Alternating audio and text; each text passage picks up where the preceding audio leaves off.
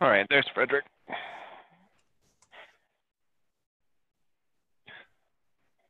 Cool. Looks like the gang's all here. Um, Nikolai, Frederick, I was wondering if you guys might just catch me up what you worked on like two weeks that I was out in the document space. Uh, I was out last week too, so I'm not sure. Oh, unacceptable, Nikolai. Unacceptable. Sorry. No, so according to the agenda, uh, a week ago, just so far away. yeah, I I said I was going to start on the first draft of the release notes. Uh, that was shown off yesterday. Uh, we may want to go over them again if you're up for it. Um, and Nikolai and I are going to work on documentation for, I guess you say, updating and adding links to the quick start guide and see if we can, if we're trying to come up with a guide for basically idea for, uh, for a CNF developer for our talk. And we want to try to work out how to, how to tie that into a, um, into a uh, presentation and also into, um, into a future, into a future quick start. Cool. Uh, I'm um, what- redoing my entire lab right now so I could beta test these quick start guides for you. Cool. And uh, Watson also has either volunteered or been volunteered to work on videos. And um, those videos are uh, basically like uh, it says it says Watson would like to go through an install and write a concise set of install steps that would be covered in a script, which are four steps: operator persona, uh, building with the pre-built containers deployed with Helm. The second one would be a client connecting to NSM, a basic version, uh, basically like kernel, using kernel connectivity to start off with. Uh, in the future, would be another one where they use a shared memory client. Third one is a CNF developer building something simple for NSM. And the fourth one is something for NSM developers. At least those are the four personas. And a draft script for what NSM is and how do you use it for different personas and then creating a video based upon the script. Uh, and the week before, we ended up talking uh, about release notes. Um, the what is NSM uh, on the on the website. So the, what is NSM needs to be uh, completely changed or or modified. There's actually two things. One of them is the what is NSM uh, document. The second one is we need to come up with a very simple what is NSM that we could stick on the on the front page. And I have some ideas towards that uh, and see if we can get them uh, see if we can get them included in or not. Uh, Yeah, I can help you with some of that stuff too. I can write like a couple drafts and send them to you. Um, have we identified anybody too who's gonna like just kind of help us give the website itself a facelift? Yes, uh, in fact, we have someone from the CNCF who is working on that. Um, let me pull up his name.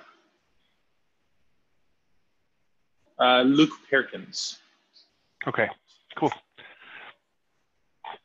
So Luke Perkins is uh, he's doing an initial draft, and then he's gonna he's gonna tell me when he's ready to to show off a um, a draft. And I've had some detailed conversations with him about uh, what we're trying to do with NSM and how we're trying to onboard people and personas and so on. So he should be he should be well aligned with what we're doing here.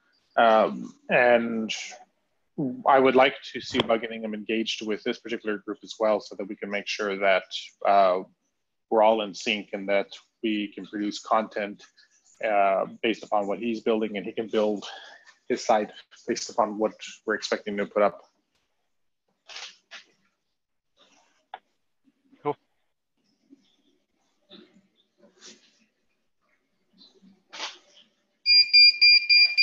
Oh, uh, one thing on the site actually, uh, Ed has pushed a PR yesterday uh, with the new logo. Uh, I don't know if you have seen it, but um, I mean, uh, the new logo is orange and the rest of the site is not. And uh, I'm I'm I don't know if we should we should just merge it so that uh, the guy from CNCF can work on top of it or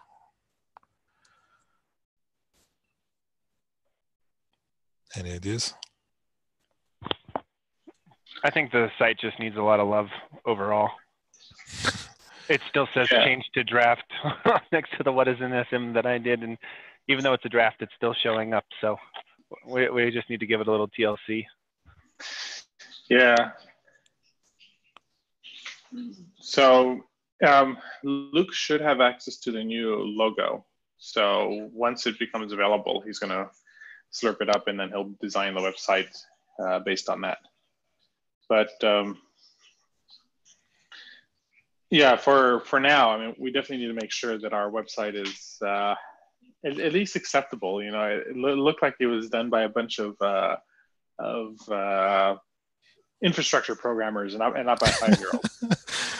Uh, that is Actually, close to, five to the truth, right? Actually, a five year old will probably do a better job than I would. yeah. So I have posted the link to the temporary deployment of the site in the chat. So if someone is interested, can check it there. With the logo, I mean.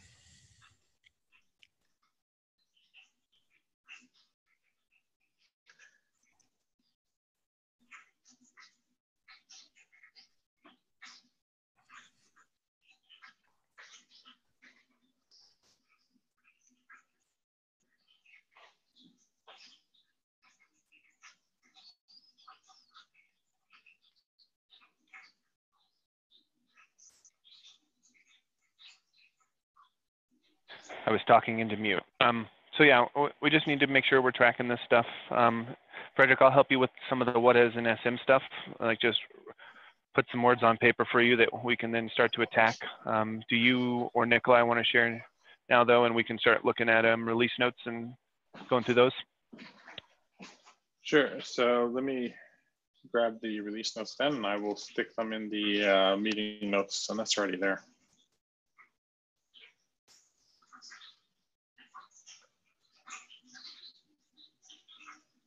Yeah, the, the release notes are currently in Google. They're not in. Uh, um, they're not in the website yet. Okay, I got a link. So whoever's typing, give me a second. There we go.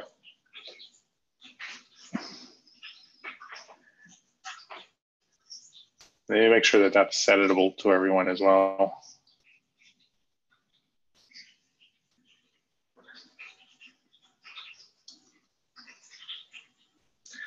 Yeah, it's set so anyone who has the link can edit it. So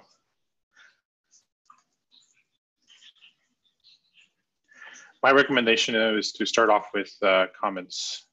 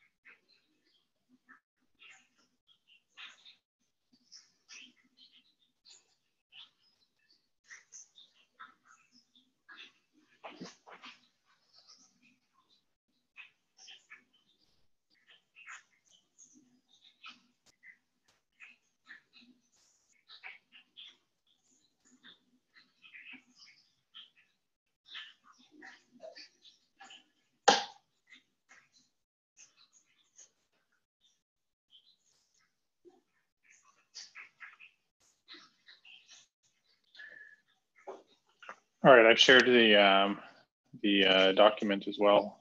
Um, can it? Can everyone see it? Yep. Cool. So first, um, from the um, from the table of contents, does this look like a reasonable order? Like, does this convey the information that we that we want, or is there any other information that we want to that we want to add in?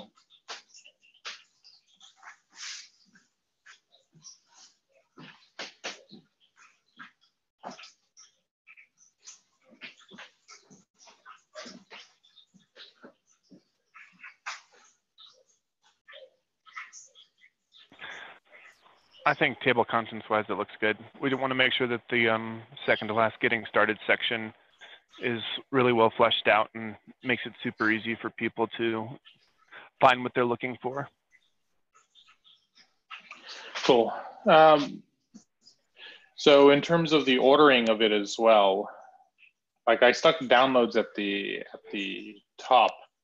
It, is this uh, does this look reasonable, or do you want to stick it at the at the bottom and have network service mesh release notes up first?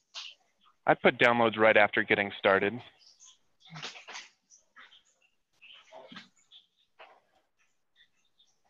So you read through getting started, and then here's all the links pointing to all the stuff that you might want to go snatch up. Okay, that sounds reasonable.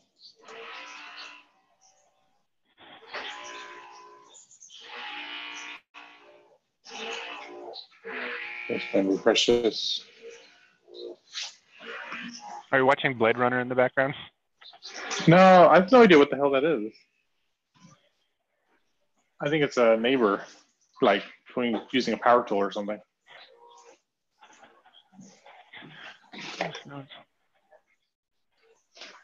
So, yeah, that's the neighbor using a power tool. Uh, okay. I, I live in Blade Runner, by the way.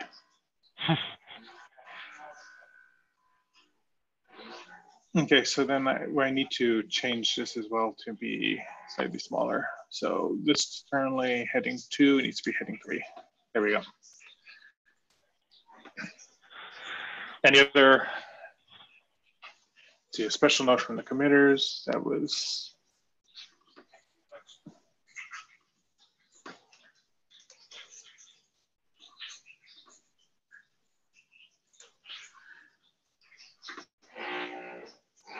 Okay, so how's that? Um, how does that look at this point then? Better.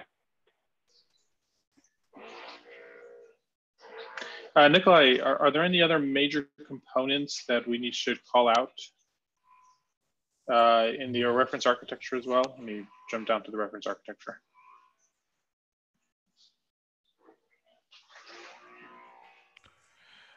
Oh, uh, manager data plane, registry, clients, controller.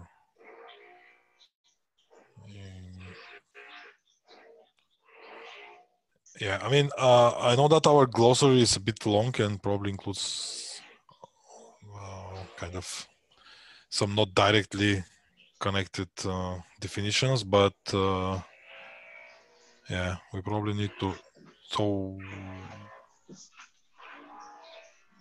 so for example, we don't have here the, the, the definition of the network service. Um, uh, I mean, uh, the, the network service um, manifest that we, we do. I, I don't know. I, I don't remember if this was part of the uh, of the glossary too, but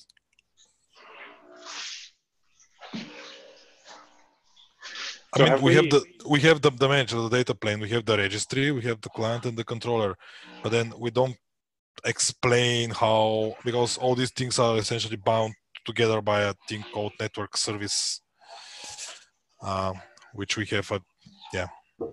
Uh, so you, you mean the, the the network service resource? Um. Yeah. Uh, yeah.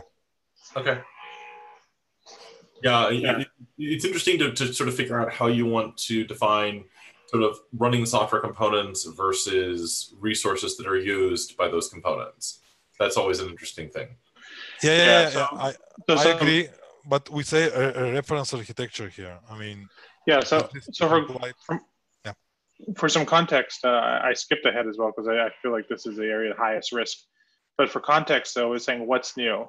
Uh, and rather than just list a bunch of pull requests, I, I thought, well, we'll do, especially for this release, we'll do it more structure, uh, more structured, and say network service mesh is brand new, uh, explaining what it is, the API itself, saying that, uh, uh, and just giving a quick description of what it is, and then uh, calling the stuff that we've built at the moment the reference architecture because someone could take the API, build a bunch of stuff out, and never use a reference architecture, and it's still NSM. Yeah, I, I, I would I would tend to actually focus rather than on the resources, because the resources for things like network service mesh are to a certain extent an artifact of the fact that the reference architecture uses Kubernetes API database as its database. Uh, it might be better to focus on the APIs, uh, particularly the APIs that are broadly applicable, right? So, for example, the API that Network Service Manager uses to talk to the Network Service Mesh data plane, that API is sort of specific to the fact we're running in Kubernetes.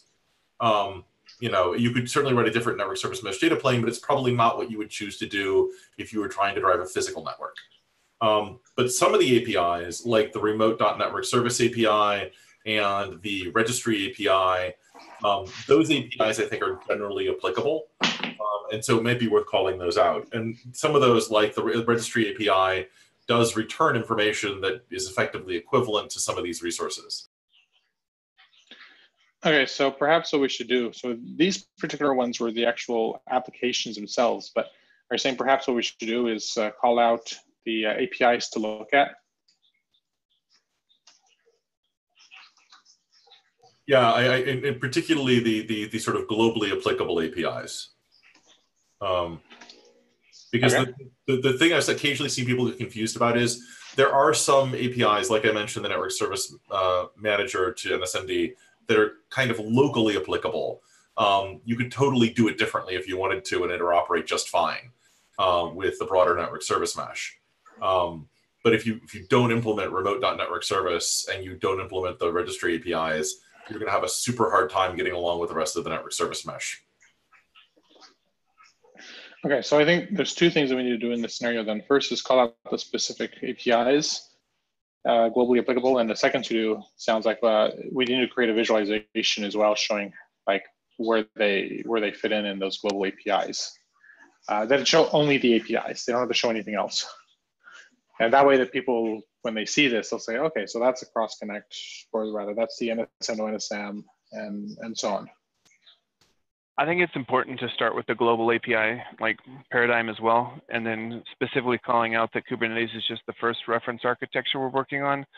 So if someone who's like an ECS wizard, you know, and they do all their stuff in Amazon and they like that container, you know, scheduler, they can come in here. Or you know, if you're a Nomad guy, like we we position it as a tool that can be used across multiple, you know, cloudy type technologies, and we just happen to do Kubernetes as our first reference architecture because it's the most widely adopted, something to that effect.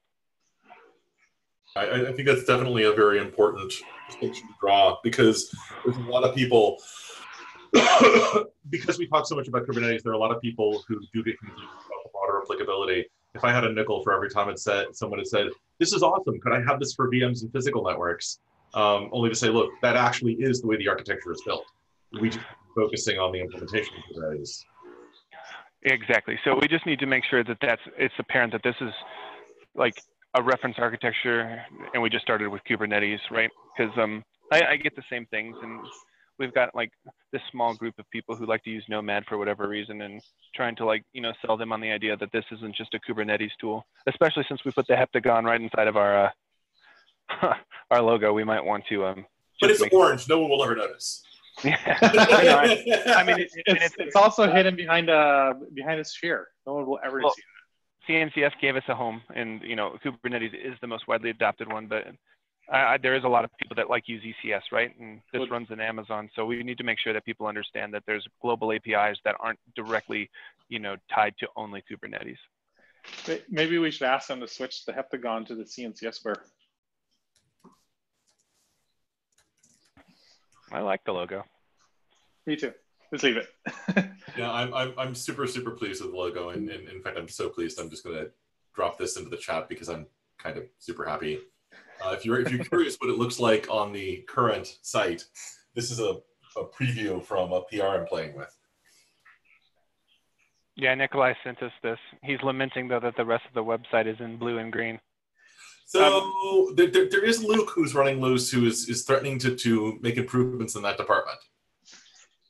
No, he's he's already started and he sent me a, uh, uh, he sent me a Netlify uh, Sam uh, location where he's where he's going to stand it all up. So right now he just has a very basic uh, general template that he starts with. Well, and, and the other thing I'm super happy about with this link is if you the favicons work, which means we get a really good proof point that the logo is still usable down to favicon size. Yeah, one one recommendation is it possible to change GitHub documentation community events menu to match the orange, and that'll make it blend in a little bit more. I, The, the darker orange. I don't see why not. One of the things I was going to ask Alex is if she would be so kind as to help us with producing a color palette, um, because I do not have the right eye to produce a matching orange. Uh, I just don't, and and I'm not sure how many folks we have in the community who do.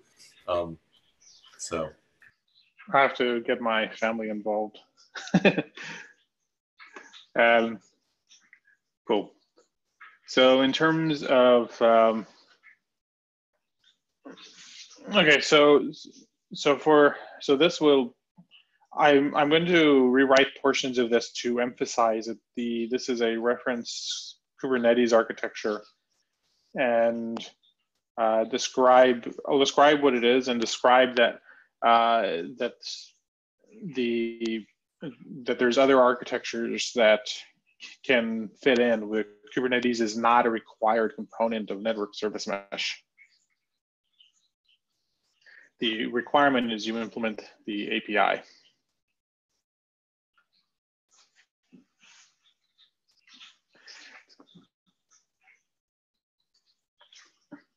Cool. And so for the uh, for the reference architecture sections, then uh, I just stole the um, the definitions from uh, from the glossary and uh, made some very minor modifications to make them fit in.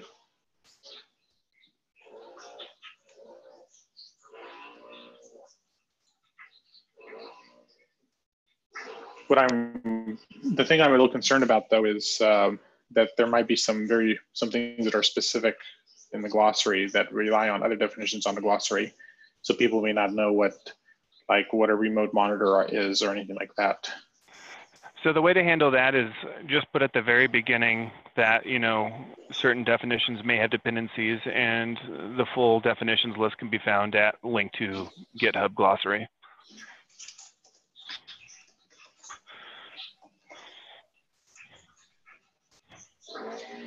And Okay. just put add glossary link here and explanation that additional, you know, dependencies can be found there. Okay then that means that whatever we link to needs needs to be something that doesn't uh, that doesn't change so while we'll have to find the uh, the well So Nic- Nikolai put, you know, at least our text version of the glossary in Git, and at this point, changes have to come through PR, so it should be semi-static. Okay, in in that scenario, uh, what I, what I may do then is pick a pick a specific um, uh, Git tag and and link it from there. yeah, I mean, our, probably our best bet is is exactly what you described. So use a Git uh, Git tag for glossary and reference the tag. And the tag will make it human readable, so they don't have to type a three two seven nine f whatever.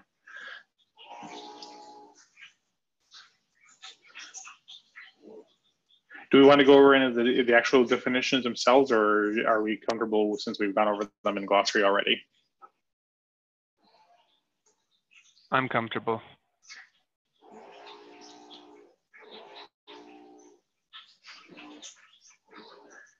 All right.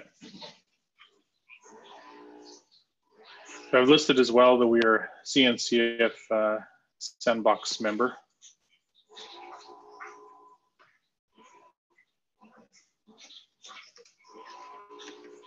Yeah. I, I was so delighted to see the call out this morning from the tech press about you know saying nice things about us because we're a, an open community. Cool. I haven't, I usually look for Network Service Mesh news in the morning, but this morning I just got up and jumped on the meeting, so I haven't seen it yet. It, was on Twitter. It wasn't an article. Uh, thanks for fixing that, uh, anonymous lemur. Speaking of um, Twitter and stuff too, we should have um, something in the getting started guide that's like not just the technicals, but since this is the very first release, like a small little section of different community resources.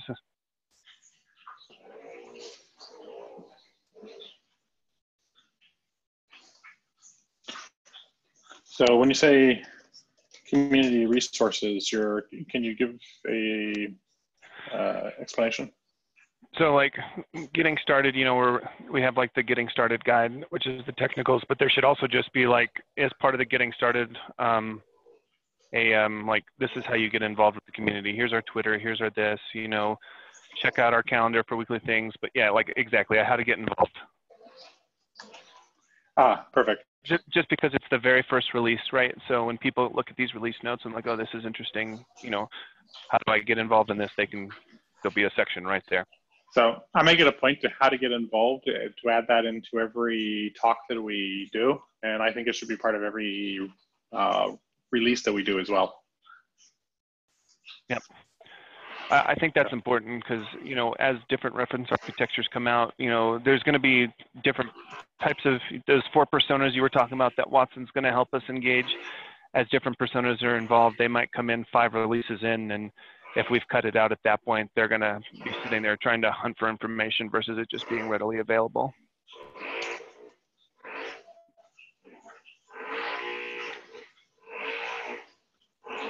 Cool. So is there any others that we want? We have meetings, Slack, Twitter, mailing list.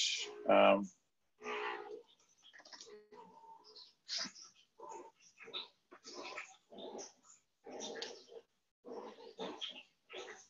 Yeah, those are the communication channels that come to mind.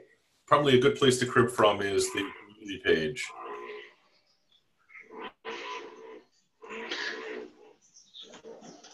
Look at which page? Community page on the website. I just put the link in the chat. Cool. So, let's see.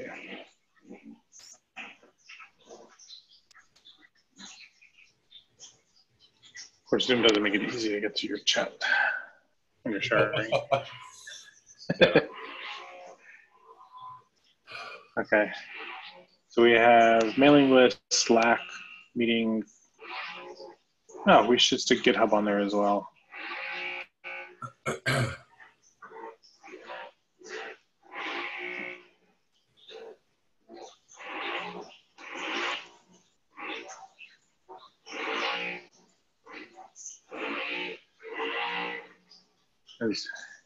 You could never visit any of these four and still get involved with issues and pull requests. Yep.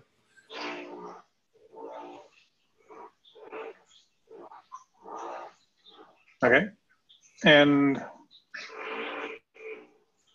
so one of the things that I that's been bothering me a little bit is uh, I actually like the idea of listing out as many people as we can remember to as part of the as part of the release and saying these are the people who, who have helped us out. But one of the problems i run into is that i know for certain that we're, there's so many people that have helped us out that we're going to miss important people. And so i'm so i'm trying to work out like how to how to deal with this. Because you know some people will just post things like on the on pull request and say oh people these people have committed to to the code. But I think our community is way more than just like who's contributed to the code. And, and then the thing is, no, absolutely, not just way more than who's contributed to the code. We're super blessed to have people who very early in the community were picking up additional roles that are incredibly important. Um, and and even things that are not obviously our community. So, for example, the unbelievable amount of support that the skydive team has provided for us. I mean, they, they at various points have literally turned features overnight in skydive in response to wouldn't it be great if we could? Um, and, and so we, we just had just unbelievable amounts of support from a large number of folks. Um, i think inevitably we're going to forget some people but maybe, we can start working on the list and i guarantee you we will not get it right at first but we will get closer as we go in time. That makes sense to folks? Yeah that makes sense to me. Because I, I would love to just like be able to list every group every every person because like for, for me like every person who's who's gotten involved and helped in some way whether it's jumping in and producing code and landing committer sta- status all the way down to even just like asking like you know what, what does this mean? And it helps us clarify you know even if it's even if it's just a, a couple questions but oh yeah. I mean and, and, and, it all it all helps some of the you know like the whole sarah story literally came because of someone at ibm who was asking hard questions and said well how would you solve this use case? And that like, was uh, Mike Spreitzer. Yeah Mike Spreitzer. It was like oh that is an awesome use case. We're gonna we're gonna run with that. Um, yeah and he showed up for just like one week and asked a couple questions and then oh yeah no no he asked really good questions. And then and then sarah happened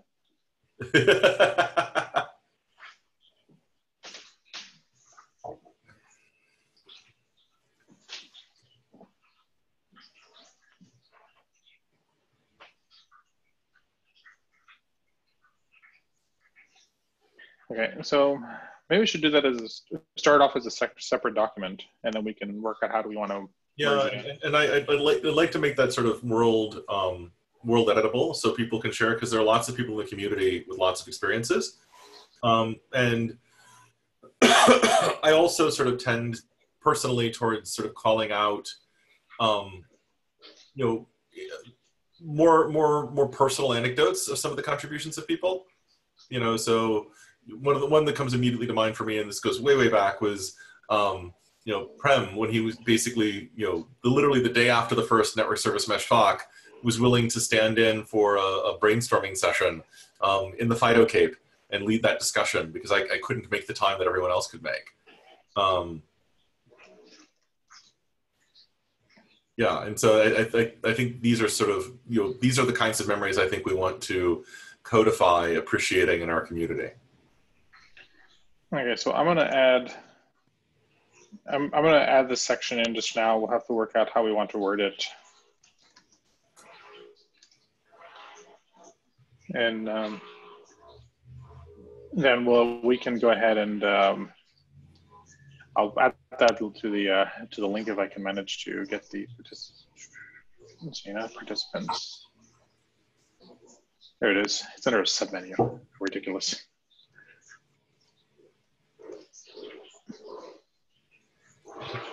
And is that is the, the document at that link world editable?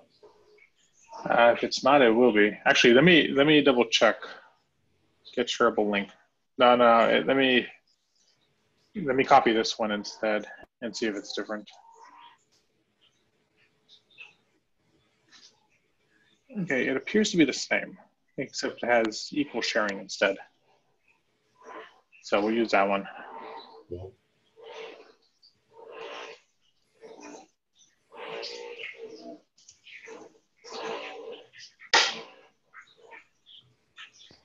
Says view only when I click on the link.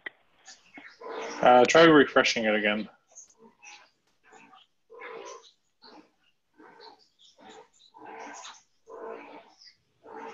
And I will, I see, anyone can edit, just me change it there.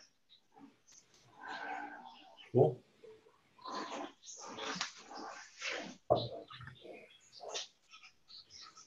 So that is our At first least anonymous Kraken can edit. Yeah.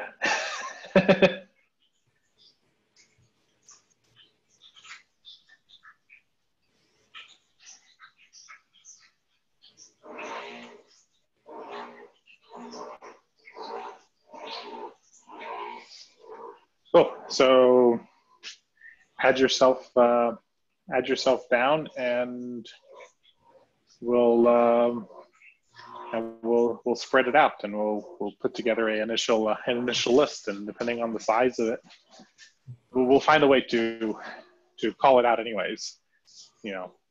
Yeah, and I, I do like the notion of adding sort of specific memories of people's contributions. That that makes me super happy when I think about it. Yeah. It'll also help because if we stuck if we stick Mike's name on this, I say, why am I on that? But then we stick ask questions that led to Sarah's use case being created. You're like, oh, okay. Yeah. No, I, I I'm I'm with you.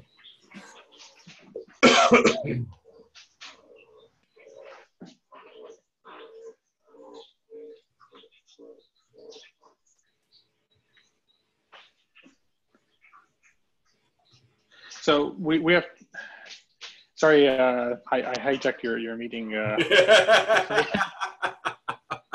you may have had other things you wanted to talk about.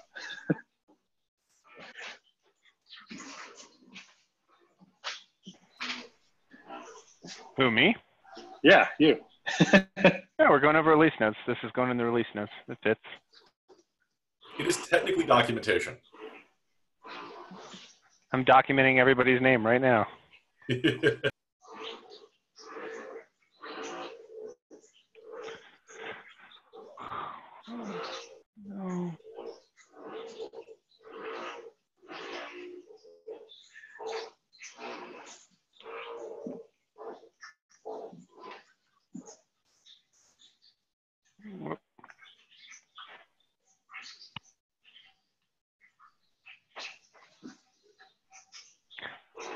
Watson, you want your full name?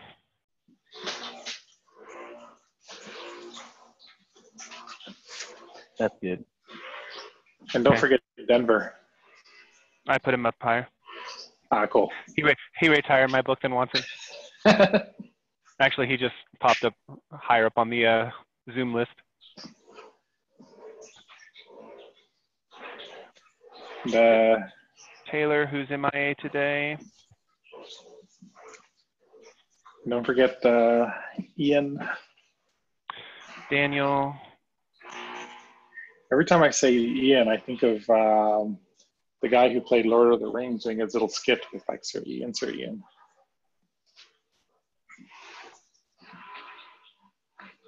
Do you spell Daniel's last name? There it is.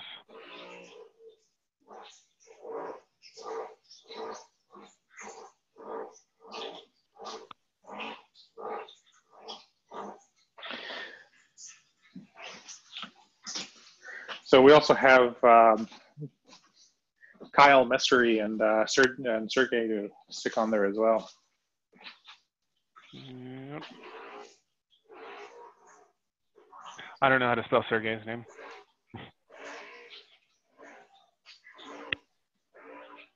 There's a T in there somewhere. I think it's like that. We'll double check them. I'll look it up real quick. I He don't remember. tweets a lot. Should be easy to find him.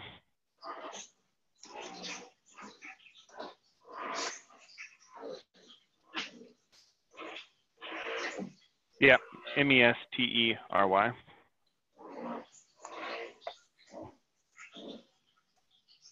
Yeah, this, this is going to get to be a to get to be a really lovely list, and and I am super ecstatic about us doing this. It really speaks to the culture that we've built as a community. Oh. How do you spell Prem's last name? I think it's Sankar. S S A N K A R. We'll double check it. Ramki. How do you spell Ramki's last name? No idea. Yeah, me either.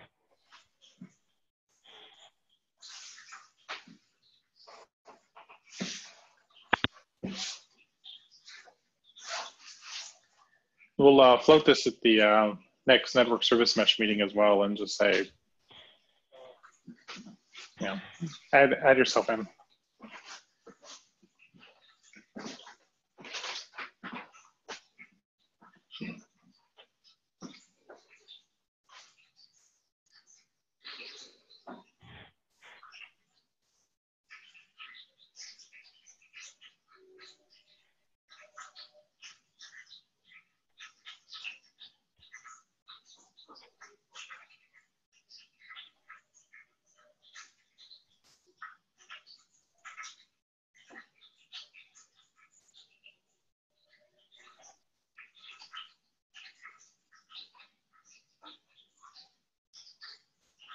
What is going on?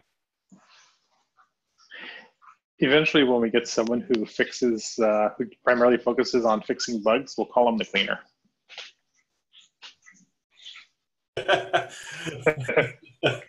For those of you who know the cinematic history there.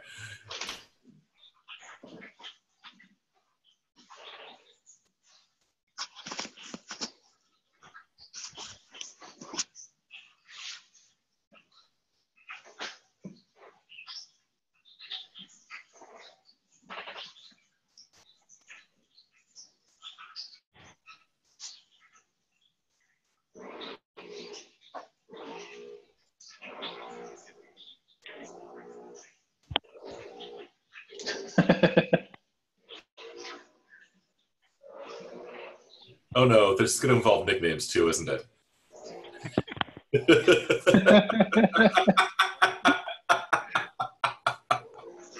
I couldn't help oh, it. this is going to become dramatically out of control. I can see already. Next thing you know, we're going to have we're going to have icons to go with it.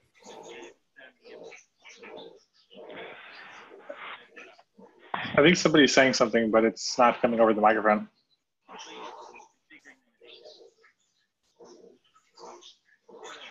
All right, friends. I need to drop a little bit early. Um, Frederick, I will help you work on that. What is NSM over the next 48 hours? Fantastic, and um, I'll uh, I'll go over with you on uh, offline as to as to what my thoughts are. Okay, sounds good. Cool. Bye.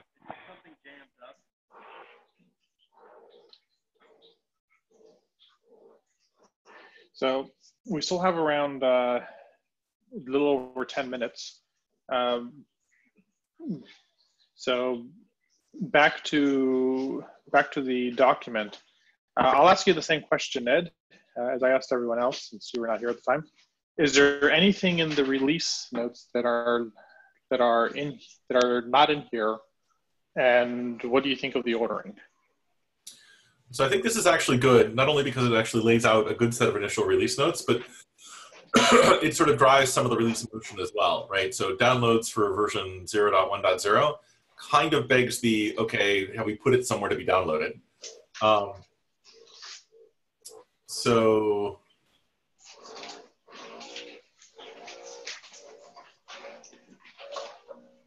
yeah, Have you seen what Istio is doing? I mean, you essentially get an archive with all the Helm charts and some. Well, that is actually super useful. God, God knows we've productively stolen so much from Istio already. Take a look at their 1.0 release. their No. 1.15. there are older releases. there are older releases. Let's see what their 0.1 looked like. Okay, okay, Okay, we're so- definitely killing it. we are better than this, right? Already But we're, we're, we're different from this. is the initial release. So, so next time someone asks, so so how is this different from Istio? You can say, look, dude, look at compare the release notes. well, May 24, 2017. Okay, can we make May 24 as our release date? That would be great. I mean, like two years later. Uh, oh, that would be funny. Also, one for May, June, July, so one year and two months. It's actually not too bad. It took us a year to get our first official alpha release out, so. Yeah. But you know, starting from community zero to to to this, so I think we're doing a good job. Well, and quite frankly, what we have is unbelievably better than what we would have had if we had inverted the order. Completely agree. Okay, so.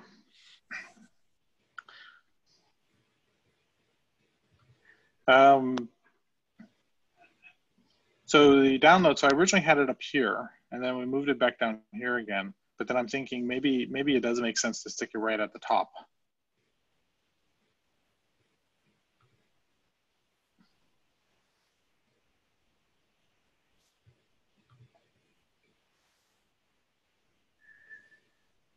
So the so here so here's a question: Do we get more value for downloads being after, right at get, getting started, or do we feel more value on getting it straight at the top?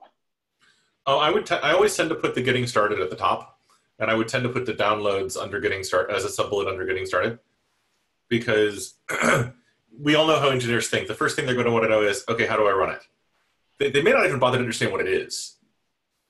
Um, so I would sort of put getting started. You've got sort of the, um, and, and I, I tend to think not so much in terms of download for getting started, but I tend to think in terms of um, day zero, day one, day two, right? Day, day zero is how do you in NSM enable your cluster?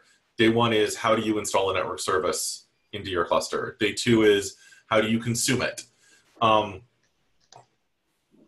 and th- that's sort of how my brain works. And then we talked about wanting to have a list of demos um, that we could actually point people to. And I think under getting started, we also want those demos. So they, they basically have the most immediate sense of, oh, okay, this is how we do it.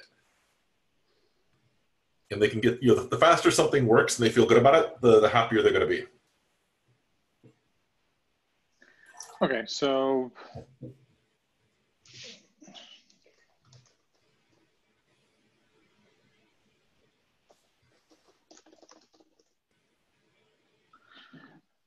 does that look more uh, more reasonable?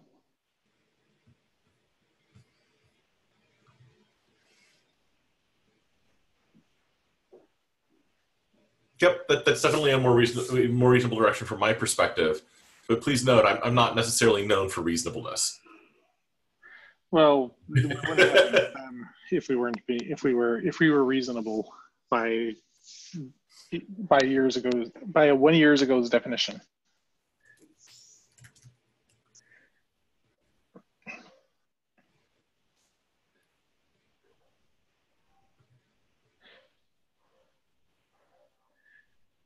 Cool. So I think something that I would really enjoy some help with on this, uh, if people have time, would be to help fill this document up, make it more clear, make sure that there's no typos, you know, make, making making it look really uh, making it look really good. And then when we're ready to do so, we will we will copy it over to uh, to GitHub uh, once the release branch has been well when the release branch is being cut and we'll start to to throw in all of the information uh, there for the for the release notes.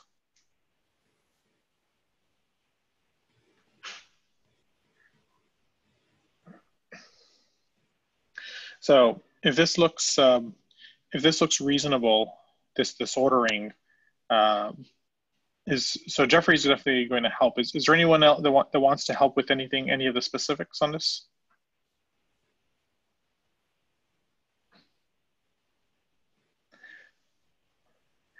Yeah, it should not be a problem. So Jeffrey and I, I think, can can uh, handle it. And then what we'll do is next week we'll we'll circle back up on the Tuesday and Wednesday meetings and uh, get more feedback on this. So I want to have a couple iterations before we before we do our release to make sure that it's that it's clear that people are generally happy with it and that we're and that we're good to go. Um, so I think we only have I think we only have five more minutes left. Is there anything else that we want to cover? I think we're good. Cool. Well, in that scenario, uh, thank you everyone for your time, and thank you, Jeffrey, if you are watching this in the future for letting me hijack your session. and with that, uh, uh, we'll see you again next week at the same time. Take care. Thanks, guys. Bye, guys.